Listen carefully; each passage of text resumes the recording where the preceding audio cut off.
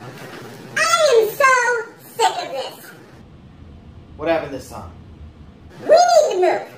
We live in like the armpit of Missouri. I have to ride an hour and a half just to get to any nice roads. So why don't you move?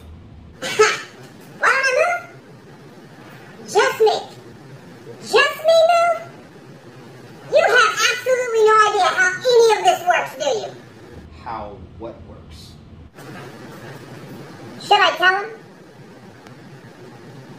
Yeah, I'm gonna tell him. Buddy, pal, if I move, that means you are gonna have to get some better content because your stuff sucks.